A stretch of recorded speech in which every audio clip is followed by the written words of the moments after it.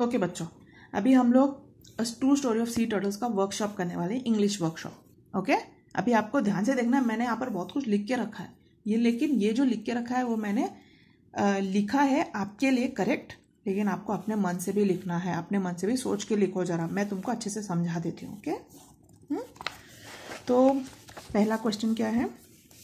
Form groups discuss the first two paragraphs try to present their content in the form of a series of conversations among the volunteers, the volunteers and the villagers. hmm? इसमें क्या बोला है? तुमको group form करने के लिए अभी corona virus चालू है और तुम लोग स्कूल में नहीं जा सकते तो ये आपसे पॉसिबल नहीं होगा। तो आप क्या कर सकते हैं? पहले आपका जो फ़र्स्ट टू पैराग्राफ है रीड थ्रू इट ध्यान से पढ़ के फिर क्या करना है? उसमें आप अज्यूम करो कि दो तीन वॉलेंटियर्स है और एक दो विलेजर्स है ठीक है? तो हम लोग डायलॉग टाइप का कन्वर्जेशन करते हैं ना मूवीज़ में जैसे डायलॉग टाइप का कन्वर्जेशन होता है, वैसे मैं तुम्हारे यहाँ पर छोटा सा प्रिपेयर किया, आप ध्यान से सुनो। अभी इस टाइप का कन्वर्जेशन आपको प्रिपेयर करना है।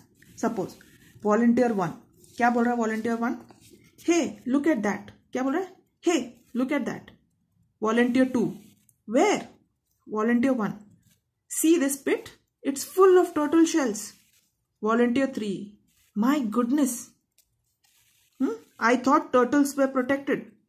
Volunteer one. Of course they are. फिर volunteer two बोलता है Then what is this? Volunteer three बोलता है Let's find out.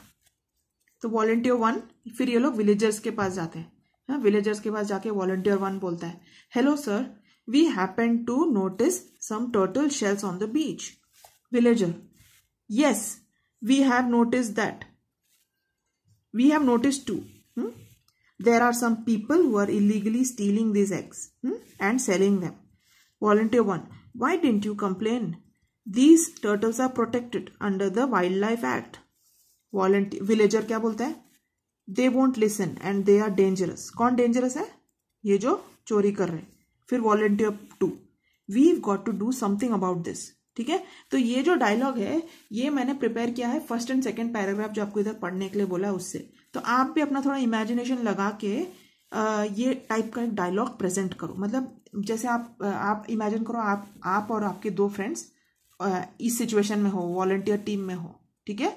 और आप विलेजर्स के, आप उधर इस सिचुएशन में थे जहाँ पर आपने ये देखा और फिर आपने आपस में क्या बात की और फिर बाद में जब आप विलेजर्स के पास गए बात करने के लिए तो उनसे आपने क्या बात की? इट्स सिंपल ठीक है? It you have to make a kind of dialogue type of conversation अपने आप से करो, बहुत ही इंटरेस्टिंग वर्कशॉप है। ठीक है? सेकेंड क्वेश्चन क्या है? Prepare a short note on sea turtles with the help of the information given in the passage अभी हमारे हमारे पैसेज हमारे स्टोरी में बहुत सारे इन्फॉर्मेशन है सी टर्टल्स के बारे में। उसको उससे उन्होंने बोला आपको एक शॉर्ट पैसेज बनाने के लिए। ये भी मैंने आपके लिए बनाया है। आप ये भी आ, सुन के कॉपी कर सकते हैं या तो आप खुद से भी लिख सकते हैं। Sea turtles are beautiful animals they are very important for maintaining the ecological balance of the sea. A female turtle comes to shore when it's time to lay eggs and after finding a suitable place lays her eggs and returns to sea. Hmm? After hatching, the little hatchlings run to the sea. They have to face the many dangers of the sea on their own as the mother, has, the mother does not come back. Their survival rate is as low as 1 or 2 in a thousand okay ऐसे एक simple सा paragraph आप भी बना के कोशिश करो okay now prepare a poster ये आपको खुद करना है। Prepare a poster to illustrate how the turtle eggs were और are protected include the following in the poster poster तो आपने पहले बहुत सारे बनाए होंगे। तो आपको क्या करना है? Take some pictures of sea turtles in their habitat ठीक है? इंटरनेट से मिल जाएगा। या तो न्यूज़पेपर या तो मैगजीन्स में इसे कट कर सकते हो। Information about turtle nests and eggs a picture and information about a protected nest, appeal to the public to spread awareness about their conversation, some data regarding the achievement so far. ठीक है आपको एक poster type बनाना है पूरा information दिया आपको सिर्फ़ इसको फॉलो करके एक नीट छोटा सा पोस्टर बना की बनाने की कोशिश करो ठीक है now prepare a simple brochure regarding the homestay facilities made available in the villagers villages अभी विलेजेस ने होम स्टे फैसिलिटी दिया ना मतलब उनको होटल में जाके रुकने की ज़रूरत नहीं है, उनके घर में रुक सकते हैं। तो इसके लिए आपको एक ब्रोशर बनाना है। जैसे आप कहीं जाते हो तो ब्रोशर देख के आप अप्लाई करते हो ना मतलब अप्लाई इन द सेंस आप जब ब्रोशर देखते हो ब्रोशर में पूरे डिटेल है होटल में क्या अवेलेबल है वेदर खाना अवेलेबल है बेड डबल है कि सिंगल है बाथरूम है कि टब है क्या बाथरूम है, सब डिफरेंट डिफरेंट चीज़ें ना इंपॉर्टेंट चीज़ें वो लोग हाईलाइट करते हैं उसमें कस्टमर्स को अट्रैक्ट करने के लिए। हम्म? तो ब्रोशर किस लिए बनाते हैं? कस्टमर्स को अट्रैक्ट करने के लिए। तो अभी ये जो होम स्टे फैमिलीज़ जो बनाई फैसिलिटीज़ बनाई गई हैं उसके लिए आपको एक ब्रोशर ब्रोशर प्रिपेयर करना है brochure brochure is like a card invite एक टाइप का कार्ड है जिसमें थोड़ा जैसे होटल में रहता है ना मेनू कार्ड टाइप क्या क्या है क्या नहीं। होटल का ब्रोशर कार्ड देखा होगा आपने हाँ? उसमें क्या करना है आपको? आ, कुछ क्या ये सब कुछ कुछ पॉइंट्स डालने हैं। Form groups and discuss the points you will use in the brochure मैंने एक बनाया आपको मैं अप्रोक्सीमेट दिखाती हूँ। Remember to include the precautions that tourist have to take at the site ठीक है?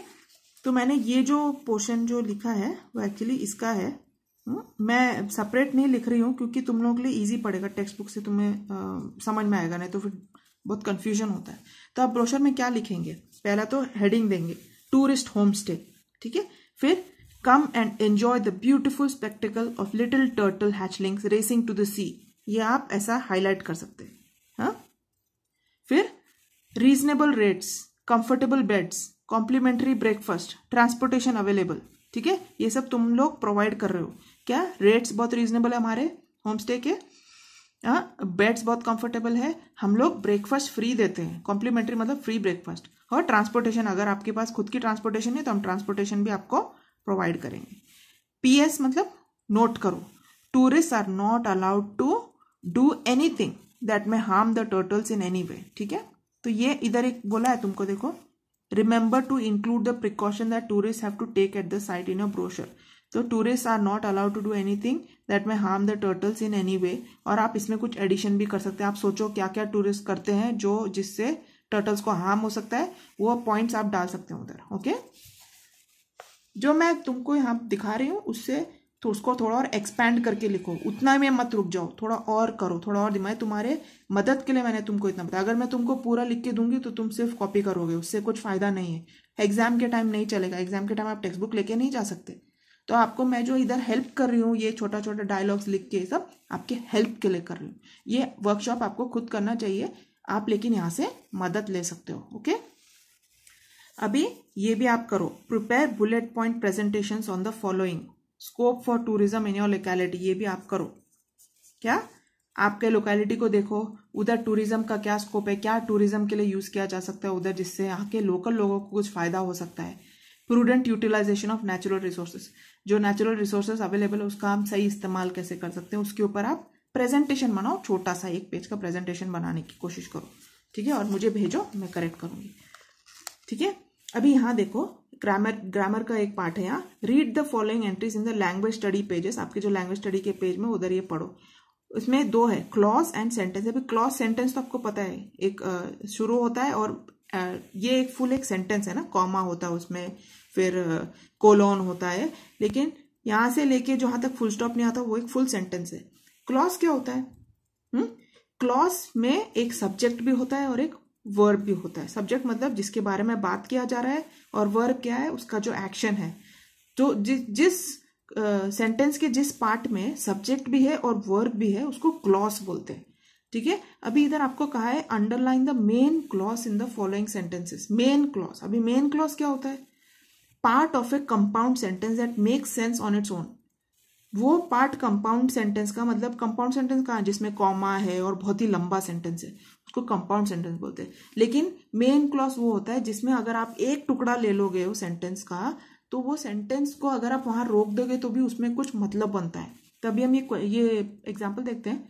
There are a few people in every village who keep combing the beach in the early hours of the morning throughout the year इसमें बहुत ही लंबा sentence इधर एक comma है।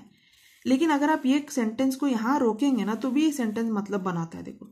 There are a few people in every village वो भी एक complete sentence ही है है कि नहीं? तो या तो आप यहाँ तक, या तो आप यहाँ तक फुल मेन क्लॉस ले सकते हैं। There are a few people in every village who keep combing the beach in the early hours of the morning ये फुली क्लॉस है, लेकिन main clause there are a few people in every village अभी second example when the female turtle comes on shore to nest and to lay eggs she leaves behind a trail just like a track of wheels on the sand इसमें main clause क्या है? When से शुरू नहीं होता। इधर देखो, अगर आप यहाँ पर सेंटेंस शुरू करोगे तो भी ये सेंटेंस का मीनिंग बनता है। She leaves behind a trail just like a track of wheels on the sand ये भी एक कंप्लीट सेंटेंस ही फॉर्म होता है तो ये मेन क्लॉज है। मेन क्लॉज को अगर आप तोड़ोगे तो भी वो सेंटेंस का कुछ मतलब बनता है। तो that is called the main clause it can be taken as a separate sentence फिर the egg hunters follow this trail right up to the nest which is about half a metre deep इसमें main clause हम लोग nest तक ले सकते हैं। देखो, यहाँ रोकोगे तो तो भी ये सेंटेंस कंप्लीटली सेंस बनाता है। The egg hunters follow this trail right up to the nest उधर रोकोगे तो भी सेंटेंस मीनिंग बनाता है। लेकिन अगर आप ये पार्ट लोगे तो वो मेन क्लॉज नहीं क्यों? अगर यहाँ से शुरू which is about half a metre deep उसमें इतना सेंस नहीं बनता ना। तो main clause is that which makes sense even when you stop it there hmm? अभी read last chance to see by Douglas Adams and Mark Carwardine ये आप ढूंढो और ये आपको पढ़ना है आप आपसे ओके तो इससे हमारा ये लेसन खत्म होता है। Okay see you for the next class bye